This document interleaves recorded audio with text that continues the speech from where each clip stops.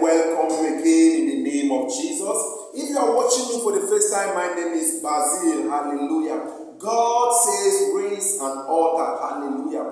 God says, raise an altar. Let's look in the book of Judges, chapter 6. Hallelujah. From verse 25. You will discover that Gideon father had an altar.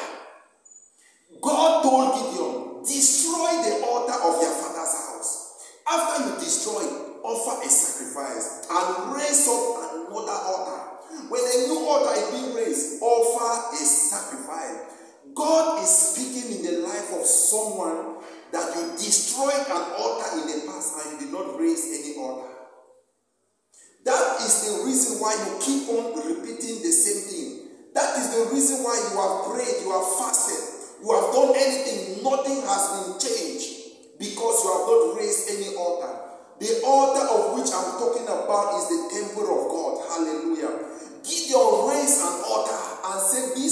Is for God. Hallelujah. The altar that will speak on your life and in the life of your family member. I declare and I decree as you raise up a spiritual altar, may it speak for your favor in the name of Jesus. May it speak on the behalf of your children, family, and generation to come in the name of Jesus. And I